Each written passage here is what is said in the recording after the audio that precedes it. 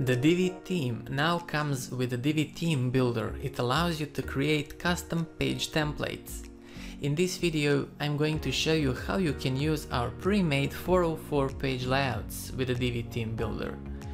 The first thing you want to do is to go to Divi Den Pro and under Layout Finder tab, find the 404 page layouts you would like to use.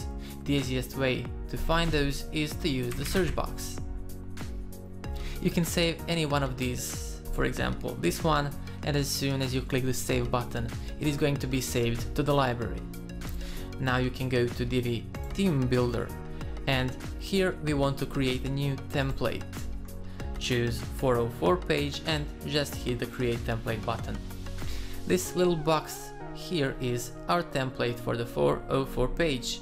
You can add a custom header, custom body or a custom footer if you would like to build one from scratch. Instead, we are going to add our layout from the library. So I'm going to click add custom body for example and choose add from library.